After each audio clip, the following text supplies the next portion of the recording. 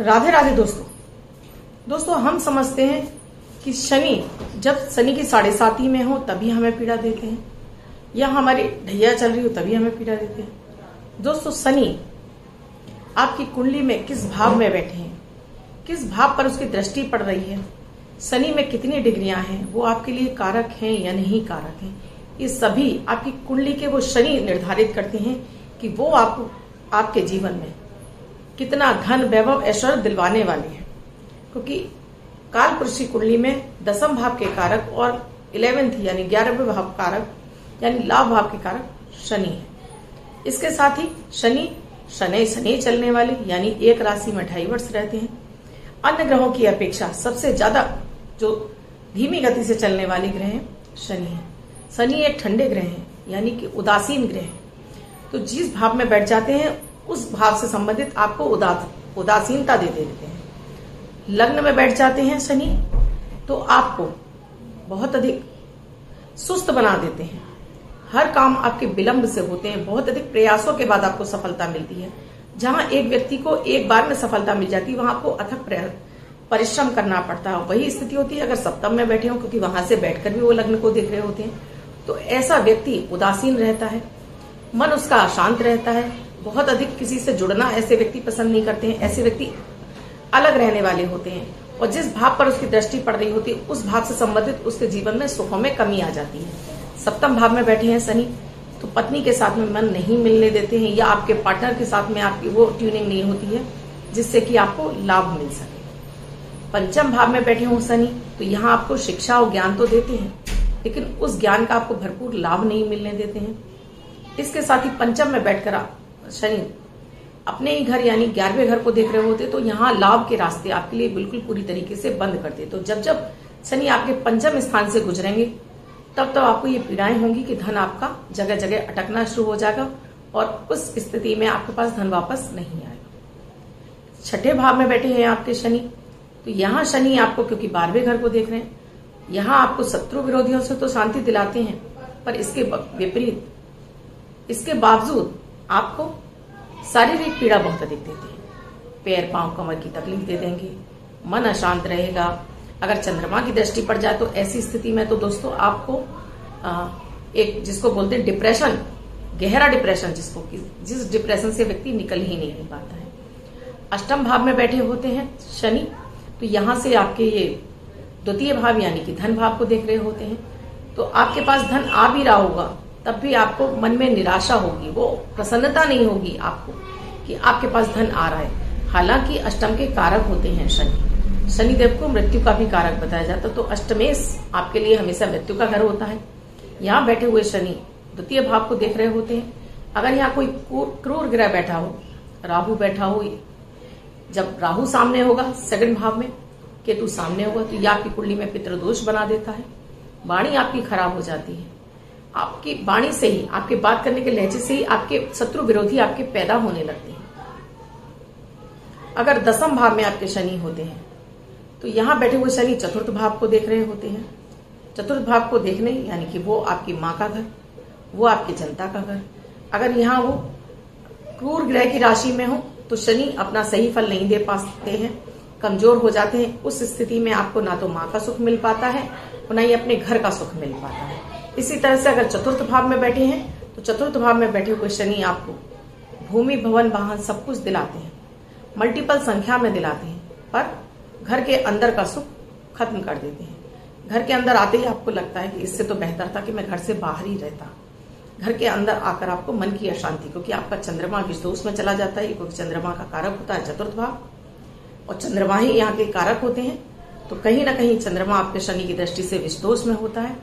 और घर के अंदर की सुख समृद्धि और शांति चली जाती है। भूमि भवन आपके पास बहुत हो सकता है, लेकिन मन की शांति आपके पास नहीं होती तो कहने का तात्पर्य है कि शनि आपके लिए कितने भी कारक क्यों ना हो, कितना भी आपको कुछ भी दे रहे होंगे, फिर भी कहीं ना कहीं मन के एक कोने में आपके अशांति होगी। मन शांत नहीं होगा हम समझते हैं कि शनि की ढैया या शनि की साढ़े साथी परेशान करती है। नहीं दोस्तों, शनि का हमारे लग्न से संबंध बनाना, हमारे चतुर्थ भाव से संबंध बनाना, सप्तम से संबंध बनाना, अष्टम से संबंध बनाना, ये हमें कहीं ना कहीं मानसिक अशांति बहुत अधिक देता है। पीड़ाएँ बहुत अधिक देता है। सब कुछ होने के बावजूद हमें खाली खाली खालीपन लगता है, हमें लगता है हमारे पास कुछ भी नहीं है। इसके लिए मैं आपको आज विशेष उपाय दे रही आपको अगर इस तरह की परिस्थितियाँ दिख रही हैं, आपको ये जानने की भी आवश्यकता नहीं है कि शनि आपके कहाँ बैठे हैं, कहाँ नहीं बैठे हैं। बहुत अधिक रोग बीमारियाँ हो रही हैं। या धन आगमन के रास्ते पूरी तरह से आपके बंद हो गए हैं। शत्रु विरोधी बहुत अधिक बढ़ गए हैं, मन की अशांति बढ़ गई है, बहुत अधिक परेशान हो रहे हैं। आपको लगता है कि चारों तरफ़ से आपके सारे रास्ते बंद हो गए हैं। तब आप इस उपाय को ज़रूर कर लीजिए। क्या करना है आपको? शनिवार वाले दिन आपको एक मिट्टी का कुल्लड़ लेना है, कुल्लड़ यानी छोटी सी मटकी। इसमें कम से कम 200 ग्राम सरसों का तेल आ जाए। इसको ढक्कन भी लेना है इसका, यानी कि इसके ऊपर आपको कटोरी नुमा जो जिससे हम दीपक बोलते हैं, वो आ जाए। एक शमी का पौधा लाना है आपको, शमी एस एच एम आई शमी। शमी का पौधा, एक आपको गमला, जिसको हम पॉट बोलते हैं, जिसमें हम पेड़ पौधे लगाते हैं, उसके अंदर मिट्टी आपको लेनी है। ये आपको प्रयोग शनिवार वाले दिन ही करना है दोस्तों। और घर में रहते हुए आप इस प्रयोग को कर सकते हैं तो ये सारी चीज़ें आप इकट्ठी कर लीजिए।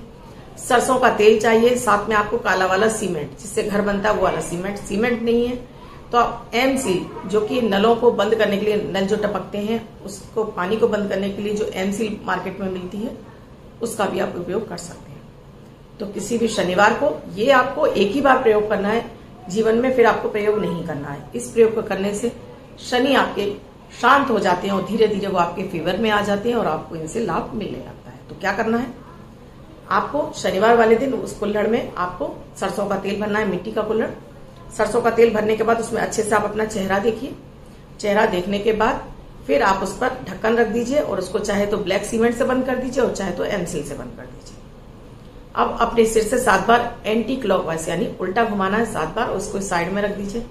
अब जो आपने गमला लिया है, उसमें थोड़ी सी मिट्टी डालिए। इस लोटे को बीच में, इस कुल्लड़ को बीच में रख दीजिए।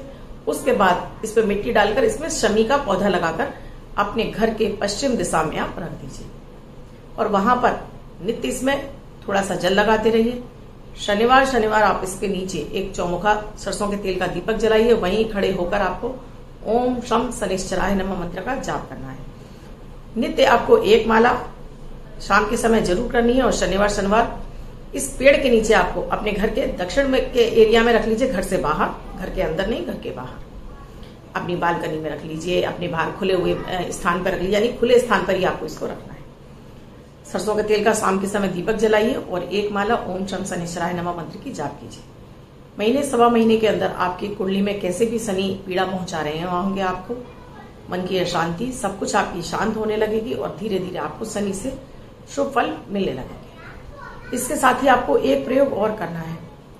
नियमित आपको सुबह के समय शिव तांडव स्त्रोत ज़रूर सुनना है। शिव तांडव स्त्रोत जो कि स्वयं रावण रचित है। रावण की इस रचना से, सुनने मात्र से ही भोलेनाथ की कृपा आपको मिलने लगती है। तो ये नियमित आप सुनिए सुबह के समय और नियमित शाम के समय शनि मंत्र का जाप कीजिए। सुबह के समय, दिन के समय शनि मंत्र का जाप नहीं करना चाहिए। शाम के समय कीजिए। और शनिवार शनिवार इसके नीचे दीपक जलाइए आप किसी भी शनिवार को आप इस प्रयोग को आपको एक ही बार करना है। अगर पौधा चला जाता है तो आप नया पौधा लाकर लगा लीजिए इसमें। और इस गमले को आप इसी तरह से रखा रहने दीजिए। दोस्तों, बहुत ही चमत्कारिक उपाय है। कैसी भी आपको शनि की साढ़े साथी शनि की ढैया, शनि की महादशा, शनि की पीड़ा, कंटक शनि, या आपको कैंसर जैसी बीमारी है, भयानक कोई रोग हो गया है किडनी इत्यादि का कोई रोग हो गया है, आपको घुटने, पाँव, पैर, कमर की तकलीफ़ है, मन अशांत है, आप डिप्रेशन की दवाइयाँ खा रहे हैं, तब इस प्रयोग को आप ज़रूर कर लीजिएगा दोस्तों। आप इसमें करने के बाद आप पाएँगे इसका सुफल आपको उपाय से करने से शनि आपके शांत होने लगे अब मेरे अमृत की बूंद जादू अच्छा जो कि नौ ग्रहों पर आधारित है, प्रतिदिन की ग्रह परिस्थितियों के आधार पर प्रयोग को तैयार किया जाता है आपकी कोई भी राशि हो। जन्मांग में ग्रहों की कोई भी अवस्था हो, आप किसी भी देश में किसी भी भाषा से बिलोंग करते हो, किसी भी धर्म से बिलोंग करते हो।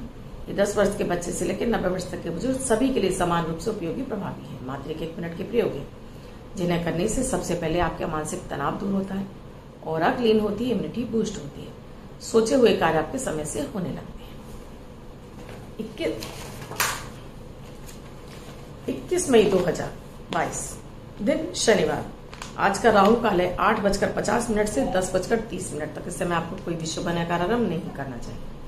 अभिजीत मुहूर्त का समय है, ग्यारह बजकर पचास मिनट से बारह बजकर पैंतालीस मिनट तक। इस समय आप कोई भी शुभ आरंभ कर सकते हैं। आज की अमृत की भूमि में आपको पाँच काली मिर्च के दाने, एक गुड़ के टुकड़े के साथ में चबा चबा कर आपको इसका सेवन करना है। आज का जादुई अक्षर है, अमन वाला आ। इस आ शब्द को रेड कलर के पेन से लेफ़्ट हैंड पर कहीं भी लिखकर छोड़ दीजिए। 24 घंटे तक लिखा रहने दीजिए। दूसरे दिन आप नहाएँगे, धुल जाएगा। मैं आपको नया शब्द देती हूँ, आप इसको फिर से लिख सकते हैं। आप इसको अपने हाथ पर नहीं लिखना चाहते हैं। छोटी सफ़ेद कागज़ की चिट लीजिए। रेड कलर के पेन से लिखिए फोल्ड करके अपने पास रखिए। 24 घंटे तक साथ रखिए दूसरे दिन बांट कर किसी पेड़ की जड़ में छोड़ दीजिए। अब जिनका बर्थडे या मैरिज एनिवर्सरी उनका ये वर्ष शुभ हो। ऐसी में आप सभी के लिए मंगल कामना करती हूँ।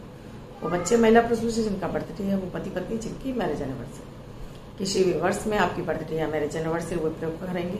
व्हाइट कलर के पेपर पर ग्रीन कलर से फाइव नंबर लिखेंगे फोल्ड करके अपने पास रखेंगे। तो ये अंक आपको वर्ष वर्ष सुविधा प्रदान करता रहेगा। अन्य कोई व्यक्ति से 24 घंटे तक लिखकर अपने पास रख सकता है। इसके अलावा दोस्तों, आप भी किसी समस्या से जूझ रहे हैं, निदान नहीं मिल रहा है तो एक बार कुंडली का विश्लेषण कराइए। स्क्रीन पे साथ में डिस्क्रिप्शन बॉक्स में मेरा व्हाट्सएप नंबर है। मेरा कॉल नंबर है eight zero double seven five zero six five one zero इस नंबर पर आप कॉल या मैसेज के द्वारा प्रोसीजर जान सकते हैं, कुंडली विश्लेषण का, ये सुविधा पेड है, आपको फ़ीस देनी होती है। दोस्तों, वीडियो अच्छा लगा हो तो लाइक, शेयर, सब्सक्राइब ज़रूर कर दीजिए, कमेंट में जय माता दी, राधे राधे, अवश्य इसके अलावा, किसी अन्य विषय पर वीडियो चाहते हैं, वो भी लिखिए आप कमेंट सेक्शन में यूट्यूब के। आपको वीडियो में कुछ समझ में नहीं आया, वो भी आपको यूट्यूब के कमेंट सेक्शन में ही लिखना होगा। आप अपनी किसी समस्या के बारे में मुझसे यूट्यूब के कमेंट सेक्शन के माध्यम से जानना चाहते हैं तो अपना नाम अपना डेट ऑफ़ बर्थ अपना टाइम अपना बर्थ प्लेस और एक क्वेश्चन सेंड कीजिए। रैंडमली सेलेक्ट होने पर संडे वाले वीडियो में आपको क्वेश्चन को ज़रूर लिया जाएगा। सो so, दोस्तों आप भी इन उपायों का भरपूर फ़ायदा उठाइए। इन उपायों को श्रद्धा के साथ में करते हैं साथ में जादुई अक्षर करते हैं अमृत की बूंद और जादुई अक्षर करते हैं। ये आपको दिनों दिन लाभ पहुंचाना शुरू करते हैं। जीवन की सभी समस्याओं से आप बाहर आने लगते हैं। धन्यवाद दोस्तों। मैं कल फिर मिलूँगी अमृत की बूंद और जादुई अक्षर के साथ।